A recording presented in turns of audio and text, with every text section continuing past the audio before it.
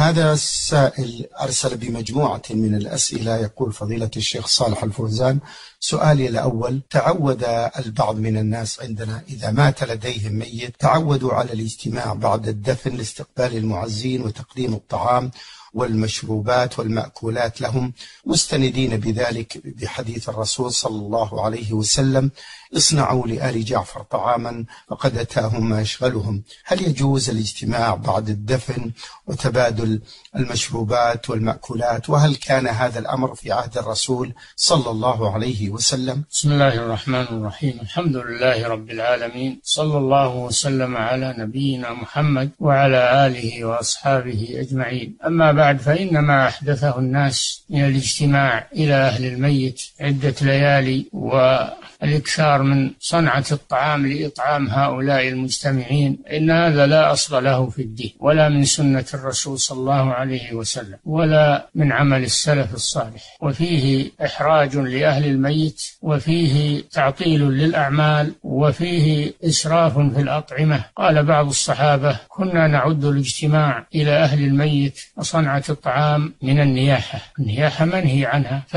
فالتعزية تحصل بدون هذه الصفة. أن تعزي الميت إذا لقيته في المقبرة في المسجد في المتجر في أي مكان تعزيه مشافهة أو بتلفون أو بجوال أو تكتب له رسالة أو غير ذلك. ولا حاجة إلى هذه التكلفات. وأما قول السائل أنهم يستندون إلى قول الرسول صلى الله عليه وسلم اصنعوا لآل جعفر طعاما فإنهم جاءهم ما يشغلهم فهذا حجة عليهم. لا لهم لأن الرسول أمر بصنعة طعام لأهل الميت فقط قدر حاجتهم لأنهم مشغولون عن صنعة الطعام لأنفسهم. لا يصنع الطعام للمجتمعين الآتين إليهم إنما يصنع الطعام لهم خاصة لبيت الميت أهل بيته فقط. هذا هو السنة بدون تكلف وبدون اجتماع وبدون تعطيل أعمال. نعم.